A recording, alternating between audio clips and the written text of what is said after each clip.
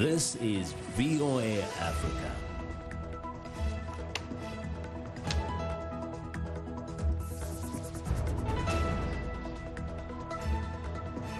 Good evening, I'm Esther Githui-Ewart. It's Monday, June 24th. This is Africa 54.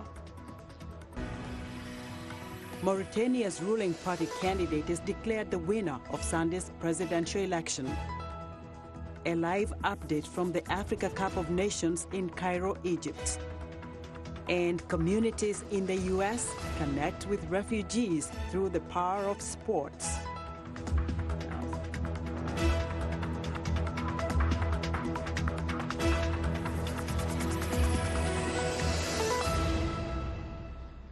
Tonight, we begin in Ethiopia, where a senior government official says the man accused of trying to seize control of Ethiopia's northern Amhara region was shot and killed Monday, and a number of other coup plotters have been arrested.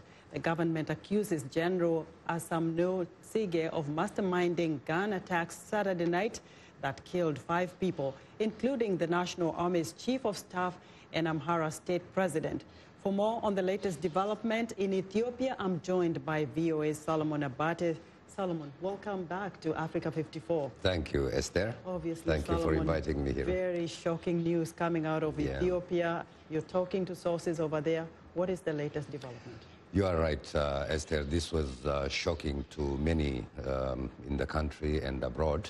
Uh, the latest developments are it has been announced today that uh, the alleged ringleader, uh, General Asaminew Tsige, has been killed um, in Amhara region. They said uh, he was killed when he tried to escape from his hideouts in, an- in an area called uh, Zenzalima, or uh, uh, it is called also known as, as uh, Chembel. Uh, the other development is one of uh, the wounded during the attacks uh, Saturday night. The chief prosecutor of uh, the region uh, was, has been pronounced dead. Now, Solomon, this is shocking, and uh, a lot of people who don't understand about regional governments in Ethiopia are wondering whether this is a signal to an even serious problem meant probably to destabilize the government of Prime Minister Abiy. Um, the prime minister uh, came out uh, Saturday night and uh, he called upon all Ethiopians to remain calm. And uh, he also said that this was an attack against uh, the people, not only uh, some political leaders in the region and at the federal level. The army chief was killed also, as you said, and retired army general was also killed uh, with him. So uh, many people are shocked in disbelief, um, but still the country remains calm so far, uh, and uh, uh, the communications are limited. In fact, the internet is down. Yeah, communication is down again. The because internet, internet down. is, remains down. Yeah. Now, this is uh, a little bit worrying if you think about the region has been unstable, not just Ethiopia, but also there was another attempt. Remember when Abiy just came in as prime minister? Yeah, there was a grenade attack, an attempt on his life. Uh, what are the government officials and security sources telling you uh, about what they are likely to do? What kind of move are they going to, you know, uh, put in place to ensure that situations like this don't go unchecked? The, uh, the government uh, announced that the army has been ordered, received orders to take any measures to put uh, the situation under control uh, so far. But, uh, you know, uh, things are not very clear yet since uh, they are not very uh, proactive and uh, fast you know, in communicating the developments and they are not receiving follow-up questions from journalists. So there are some uh, questions remain unanswered so far, you know. Uh, for instance, why they call it coup d'etat since it is uh, it took place in a regional at a regional level, uh, not at a federal level. And uh, who are those people who uh, have been arrested, you know, with uh, uh, in relation to this situation? And if they are taken to uh, the courts soon, and you know other questions. So uh, we shall wait tension. and see. You know, it's not in clear. Ethiopia right now, and a lot of concerns from Ethiopians abroad as well, right? Uh, yes, right. there are concerns. All right, Solomon, follow up this for us. We'll get back to you as soon as we're able to on the next. Thank you very much. Thank you. All right, that's uh, VOA's Solomon Abate. Moving on to Northwest Africa, uh, the ruling party candidate in Mauritania has been declared the winner of Saturday's presidential election, according to the Electoral Commission. Former Defense Minister Mohamed Ould Ghazouani won 51% of the vote, according to data published on the National Electoral Commission's website. Opposition candidate on Saturday held a press conference to call on citizens to take the streets in protest if they believe the elections were not held fairly. The country's last elections in 2014, won by the then incumbent president Mohamed Ould Abdelaziz, were heavily criticized for being unfair and were boycotted for many, by many opposition parties. Saturday's elections were seen as the country's first democratic transition of power. Ghazouani has promised to transform national industries to create more jobs around the country's natural resources. Now, for more on the latest developments in Mauritania, reporter Isha Sarai is standing by. Good evening, Isha, and welcome to Africa 54. Thanks for having me, Esther. Now, Isha, the Electoral Commission had announced that the ruling party candidate obviously won the election, but also the opposition was calling for peaceful strikes. We understand there are planned protests today. What more can you tell us? Yes, so um, there is uh, there's been a call for a peaceful march, uh, emphasis on peaceful. Um, this evening uh, started a few minutes ago, um, and it's supposed to continue on into the evening. Uh, there were some reports uh, in some of the poorer parts of the city of protests last night that involved burning tires. Um, this morning when I went by, I saw some burned vehicles and some obvious evidence of fire. But, but notably, I think more than the actual protests, there is a very heavy military presence in the city. I think they're prepared for any um, potential protests or for anything to, to get out of hand. And also worth noting is that uh, it would appear um, that all cellular data, 3G internet services have been cut across the capital, if not the whole country. Um, we started hearing reports of this around 3 p.m. yesterday, and until today, I, I still can't connect to any um, internet outside of my hotel Wi-Fi, and I believe it's the same for most people in the city. So this is obviously not just a breakdown; it is a planned, uh, you know, discontinuation of, of uh, services such as the internet, as you say, Isha, and even the cell phone use, right? Yes, absolutely. Um, and, and of course, you know, there's no official word on this from the government, but, but most people on the street are saying that they assume this is with the intention of quelling any potential protests in the streets later. Isha, some people are saying 51% is too short. Is this likely to, uh, is there a runoff actually likely to take place? No, so um, so really, what's what's leading to the opposition candidates calling for protests is that uh, the ruling party candidate, has won just over the 50% necessary um, to not need a runoff election. Uh, had he won less than 51%, it would have sparked a runoff election on July 6th.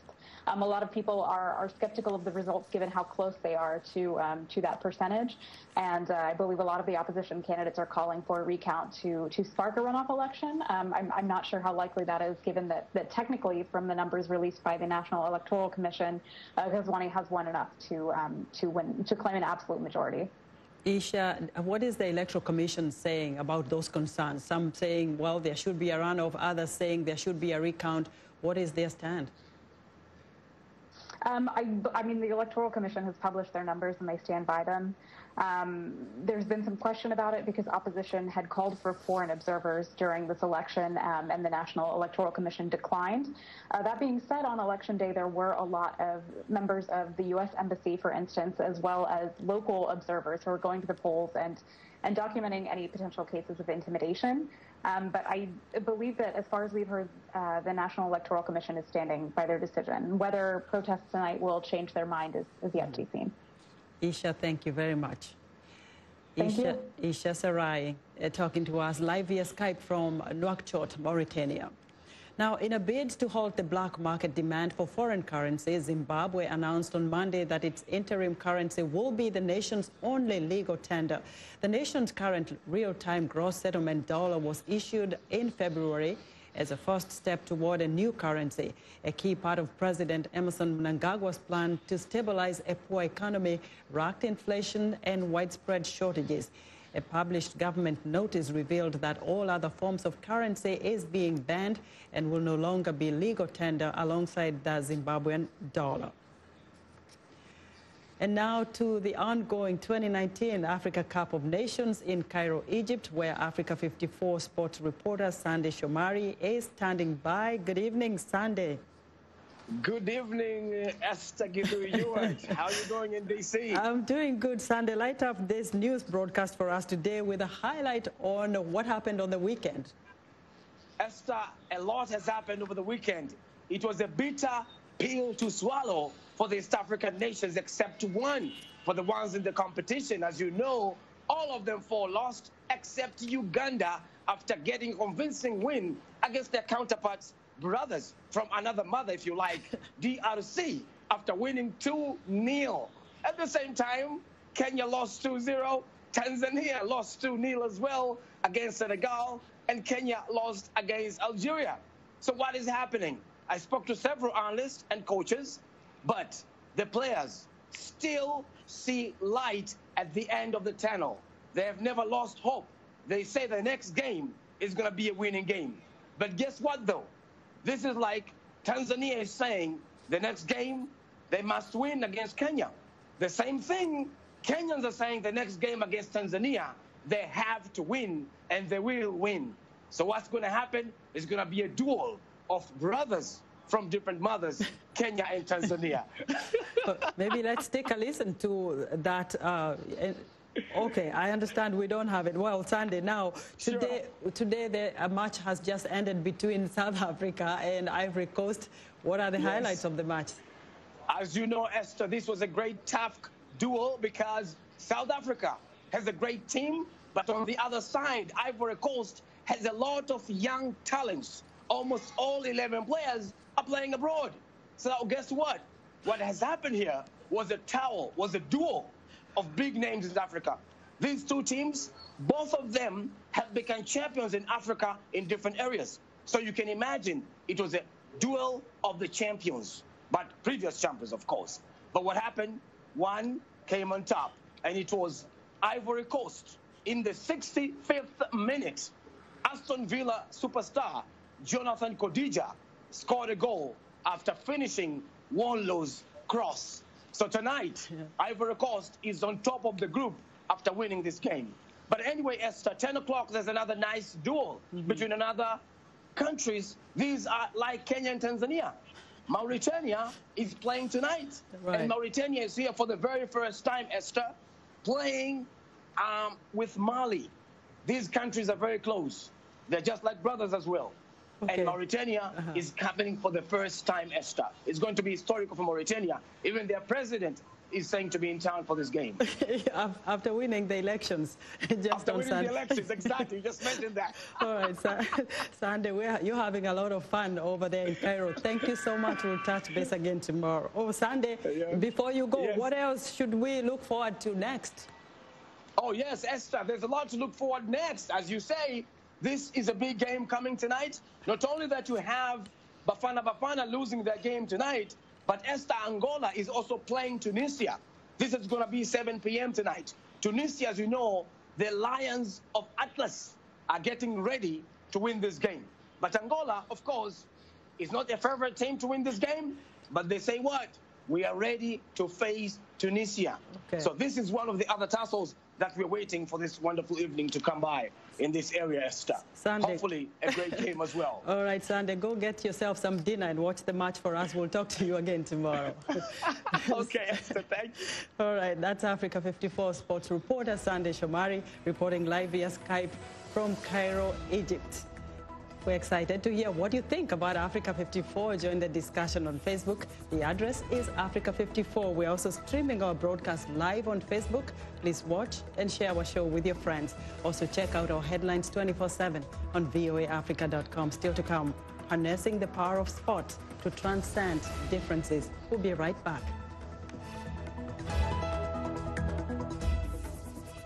Am Shaka Ssali, host and senior editor of VOA's international call-in talk show, Straight Talk Africa. Today we'll examine the tobacco industry. We pretty much touch on anything that you can think of. Politics, health issues, human rights issues, you name it, we talk about it. The issues that we discuss are pertinent to most people on the African continent. A very, very rare and unique opportunity to interact with their leaders. Could be French, English, Portuguese, Bantu, Arabic, it is the beat. the African beat that counts. The beat does all the translations. It cuts across all languages and gives us the understanding that this is the African beat. It is so distinct. and adhesive. It binds us together. African Beat on the Voice of America. For more information, visit our website at www.voanews.com slash African Beat.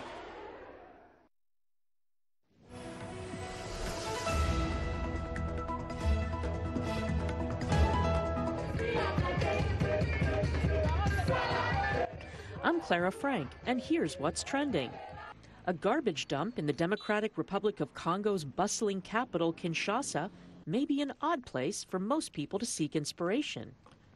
But for Congolese musician and the founder of Fulu Miziki group, Pisco Crane, this is the perfect place to find the recycled material he will use to create his band's unique sound. Using scrap metal, plastic bottles, tins, or water pipes to make their instruments, the group has gained a following who love their signature rhythms and efforts to promote recycling in a country that produces over 9,000 tons of waste daily. Fulu Miziki says their music not only helps raise awareness on the need for recycling, but also shows how much can be achieved by individuals.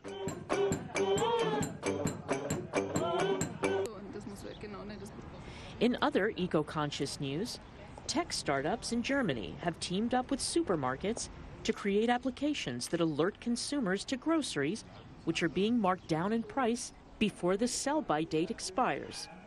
The aim is to cut down on climate wrecking carbon dioxide emissions.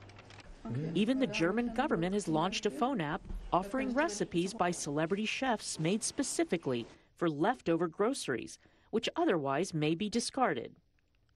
While a growing number of businesses are participating in the cyber food sharing business, many others still give their food free to charities who pick up the leftovers at closing time and distribute them to homeless or other people in need.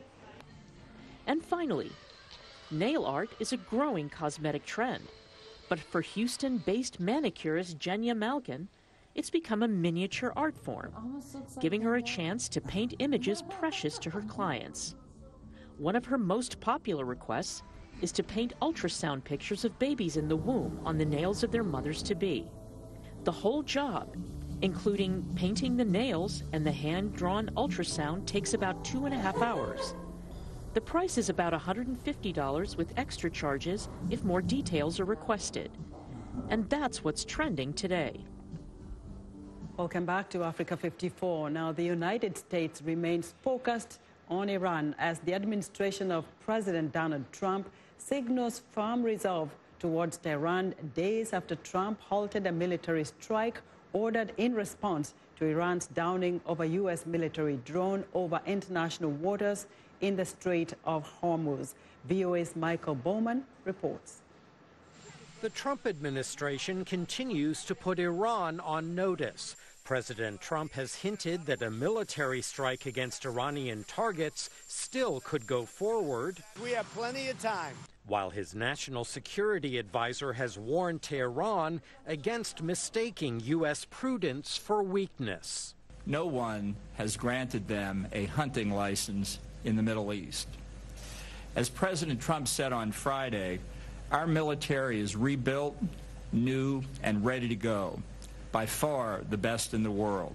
Amid the saber rattling, an expression of concern from a former U.S. military chief. My biggest concern is uh, the president is running out of room, running out of options, and while the rhetoric goes back and forth and how close we came to hitting Iran just the other day, that this thing could spin out of control. And the last thing in the world we need right now is a war with Iran. Meanwhile, Trump's allies in Congress are praising his handling of Iran to date. The question is uh, how do they respond to this relatively restrained response by President Trump? If they go back to mining tankers, shooting at American aircraft, the sort of pattern of activity we've since, seen since April, then obviously the president has a whole range of additional responses that he could employ. But he's given himself uh, a lot of headroom, if you will. The United States reportedly has conducted cyber strikes against Iranian intelligence units,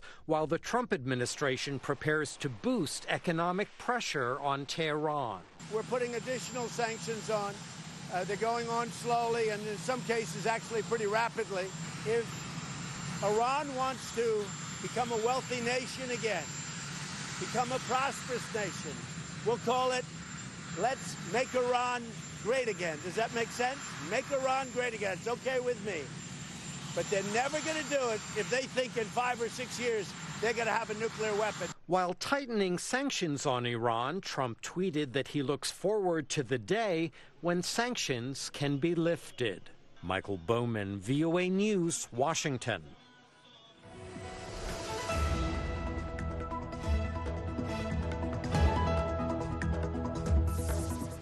A little more sports for you today. And as the World Refugee Awareness Month continues, Activists are working to spotlight the stories of the nearly 69 million refugees and displaced people around the world. People from all walks of life are helping refugees connect with their new communities. Some local groups here in Washington gathered recently to do just that through the power of sports.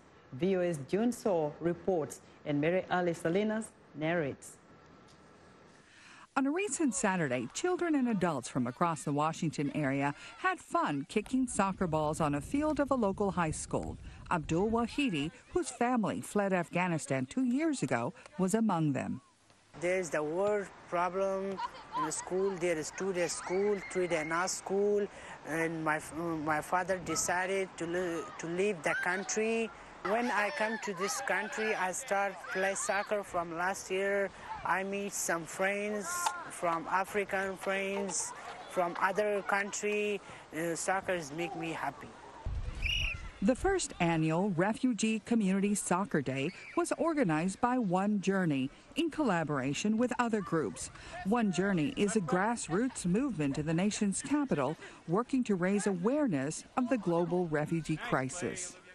Today we had people, uh, refugees from the refugee community, as well as just larger community members, um, all coming together and playing soccer together. Um, the purpose of it is all to bring people together um, and to sort of show their common humanity um, over a love of soccer. One of the partner groups is Life and Change Experience Through Sports, or LACES. Founder Serene Fryett brought 40 refugee children soccer crosses cultural barriers. It brings people together, youth especially, um, kids who come from different cultures. You put a soccer ball in front of them and it becomes a common language. They don't have to speak the same language, but yet they can play with one another. And today was a perfect example and what the goal of the Refugee Community Soccer Day was, is to bring groups of people together who wouldn't normally connect and find a common bond. That was Mohammed Hashimi's experience. I'm from Afghanistan playing soccer makes me feel really, really happy and really social. Uh, it's really fun to play, and it's really um, a way to speak to someone else in a different way.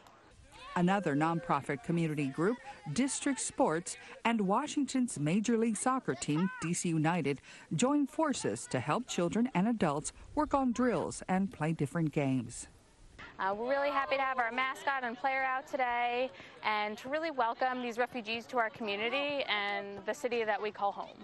The organizers say the inaugural gathering was a success, with 200 people joining in, and they expect the connections they made to continue for years to come. For producer June Soh, Mary Alice Salinas, VOA News, Washington.